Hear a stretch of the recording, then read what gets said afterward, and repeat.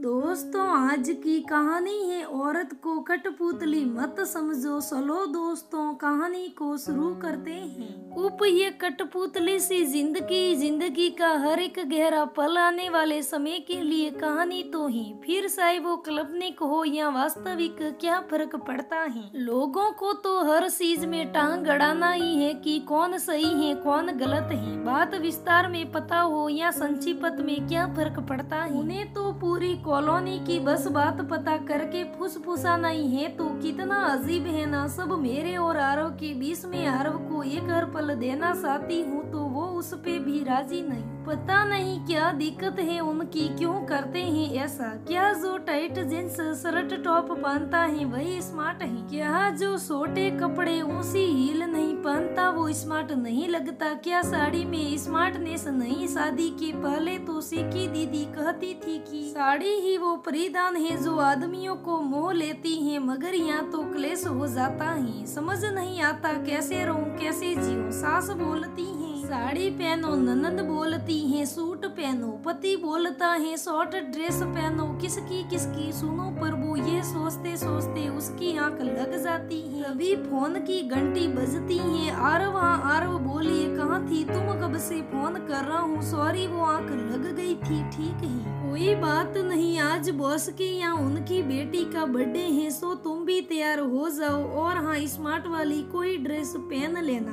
आधे घंटे में ही आ जाऊँगा, ठीक है? आराध्या ने अलमारी खोल कर ये सोचने लगी कि क्या पहनूं, फिर उसने अपने एंगेजमेंट की गाउन निकाल कर वह पहन ली। इधर आरव आधे घंटे से घर के अंदर आ जाते हैं, नीचे से ही आवाज़ लगाते हैं। आराध्या आराध्या जी, आई, आप नहीं बदलेंगे। नीचे सोफे पर सासू माँ बैठी थी। उन्होंने तेज कंस कसते हुए कहा, हे भगवान, आजकल की लड़कियाँ कोई शर्म लिहाज नाम की तो सीज ही नहीं है।